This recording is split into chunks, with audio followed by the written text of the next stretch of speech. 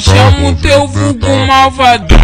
É ético, força, é médico, ético, é